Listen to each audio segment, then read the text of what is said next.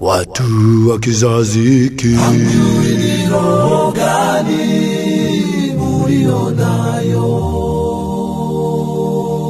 walokolewa kisasa.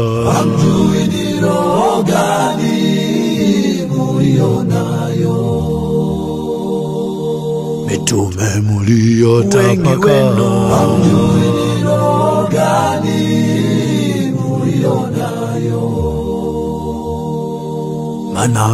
muliozaga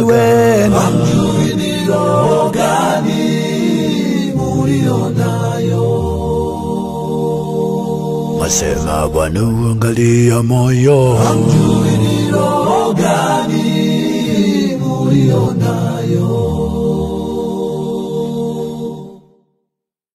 Makahaba wanavyova na nyinyi ndivyo mnavyovaa eti kisa kwa nini? Mungu angalia. Makahaba wanavyojilemba ninyi kolikoli nao? Na nini kwa nini? Tuwazidi usafi. Walimwengu wanatafuta vyeo. Yakobo moja tisa. zaidi. Kwa nini? Vyeo vya ulimwengu ndio mnakuwa kichwa. walimwengu wanatafuta umaarufu. Muko bize kwayo na nini kwa nini? rahisi kutoka kwa Mungu wa kweli. Nasema hivi ndo nimetoka hivi. japo katika usemi wenuo hamumaanishi hivyo, lakini ile lilo linalowaongoza linafanikisha hivyo, japo nyie lengo lenu. Si kutoka kwa Mungu, lakini lile lilo linalowaongoza linatekeleza hivyo. ilo liloho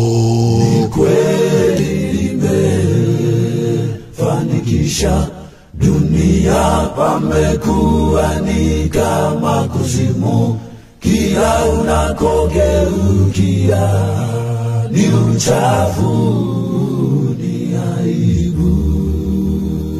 ilo kweli limefanikisha dunia, pamekuwa ni kama kuzimu, kila unakogeukia ni uchafu, ni aibu.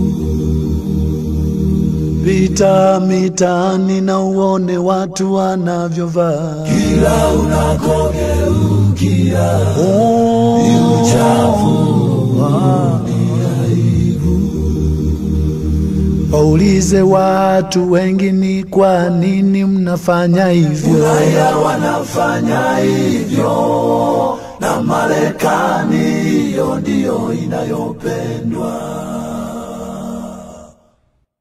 Wa Bwana sifiwe, ndo kimbele mbele kwayo, na sehemu kubwa ya mitume wetu hayo haya wao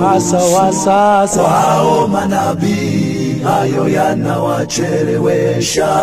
Na baadhi ya waimbaji wetu tusemao ni wakubwa. Nao. Nao si ajabu kupishana nao wakiwa hivyo.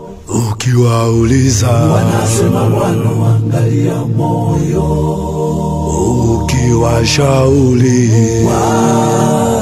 wanasema eti hakuna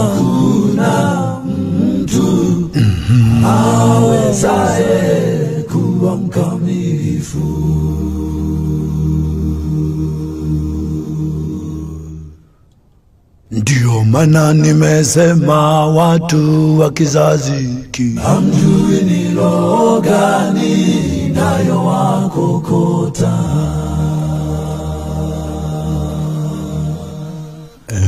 ukalimanya mmepongi jejikuwa kwa wanya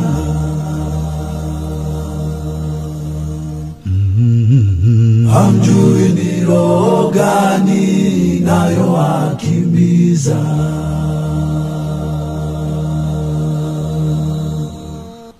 Yaani kwa ujumla, ndio maana nimesema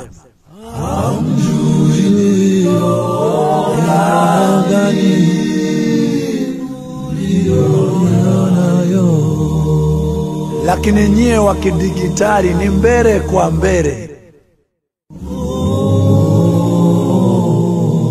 Mungu warehemu watu hawa, kwa sababu wanaamini kila kitu lazima wamwige mzungu, hata kwa yale yanayoharibu asili ya uumbaji wako na kudhalilisha thamani halisi ya utu wao.